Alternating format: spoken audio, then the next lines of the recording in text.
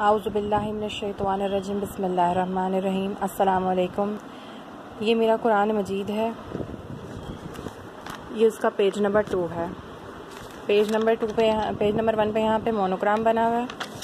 اور میرے page number two پہ سورہ فاتحہ یہاں سے قرآن مجید میرا سٹارٹ ہے۔ مزید ڈیٹیلز کے لیے آپ ڈسکرپشن باکس میں دیکھیں گے کہ چینل اور یہ ویڈیوز کی وجہ کیا ہے۔ شکریہ۔ چلیں یہاں سے ہم سٹارٹ کرتے ہیں۔ سورة الفاتحہ مکیہ۔ سورہ فاتحہ مکہ میں نازل ہوئی۔ بسم اللہ الرحمن الرحیم۔ شروع شروع کرتا ہوں اللہ کے نام سے جو بڑے مہربان، نہایت رحم والے ہیں۔ الحمد للہ رب العالمین۔